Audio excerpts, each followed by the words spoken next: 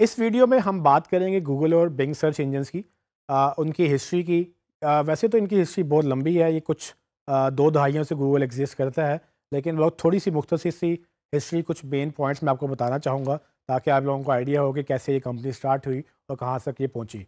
सो so, Google का idea जब start हुआ बेसिकली ये दो फाउंडर्स लैरी पेज और सरगे ब्रिन एक दूसरे से यूनिवर्सिटी में मिले और वहाँ से ये अच्छे दोस्त बन गए और उन्होंने फिर एक कंपनी लॉन्च की। लेकिन जब ये दोस्त बन गए, इनको अपनी यूनिवर्सिटी की वेबसाइट देख के एहसास हुआ कि स्टैनफोर्ड यूनिवर्सिटी की वेबसाइट से दूसरी वेबसाइट्स में कहाँ कहाँ लिंक जाते हैं, ये तो हमें पता चल जाता है।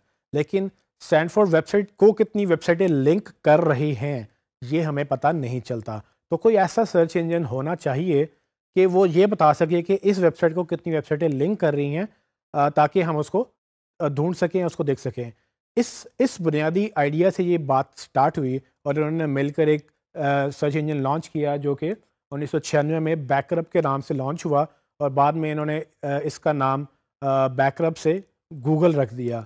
गूगल बेसिकली एक मैथमेटिक्स में एक वर्ड है, गूगोल के नाम से, जिसका मतलब यह है, ये एक नंबर को रिप्रेजेंट करता है, जिसमें एक लगाने के बाद सौ दफ़ा ज़ीरो लगाने हैं या सिफर लगाने हैं तो ये पूरे नंबर को गूगल के नाम से कैलकुलेट किया जाता है।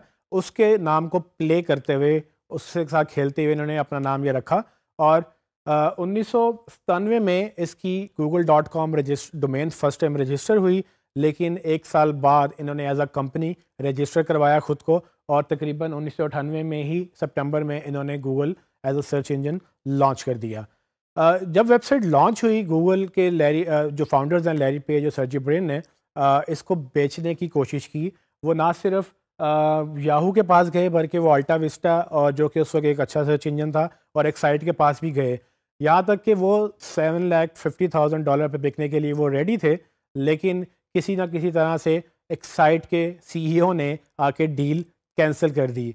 जब उनका कुछ भी ना बना तो उन्होंने एक छोटे से ऑफ़िस से स्टार्ट किया कि किस तरह आ, आ, उन्होंने कहा कि जब चूँकि बिक नहीं रही तो उन्होंने इसको एज अ कंपनी लॉन्च किया और उस पर काम शुरू किया।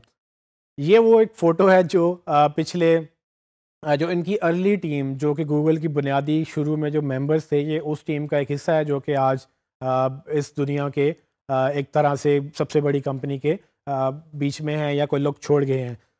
अच्छा 2005 में जैसे ही हमने पहले डिस्कस किया कि गूगल ने वक्ता फ़वक्ता मुख्तु प्रोडक्ट्स लॉन्च किए हैं, इसी तरह से 2005 में गूगल ने एंड्रॉयड लॉन्च किया, गूगल मैप्स लॉन्च किया, गूगल एलेंटिक्स लॉन्च किया।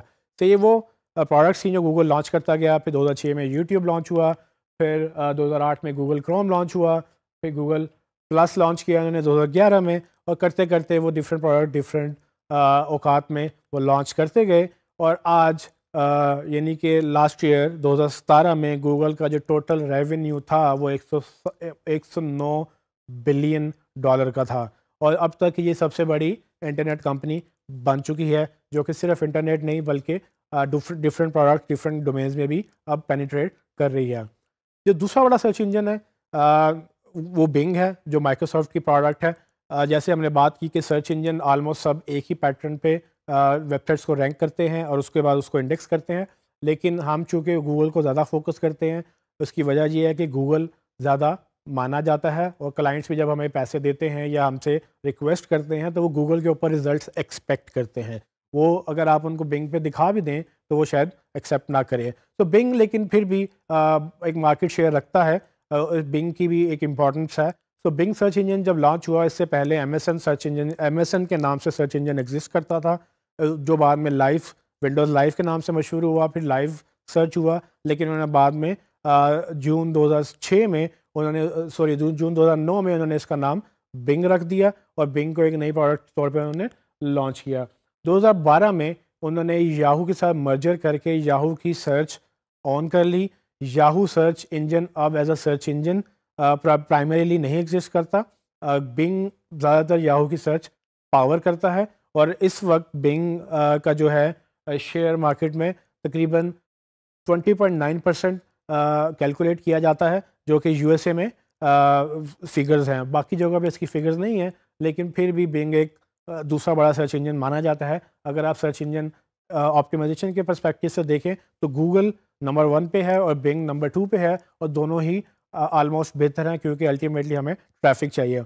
हम जब अब सर्च इंजन ऑप्टिमाइजेशन की बात करेंगे इस कोर्स में, हम ऑलमोस्ट फोकस हमारा ज़्यादा गूगल के ऊपर होगा, लेकिन हम कोशिश करेंगे, जहाँ पर ज़रूरत पड़ी, वहाँ पर हम बिंग को भी इंक्लूड करें।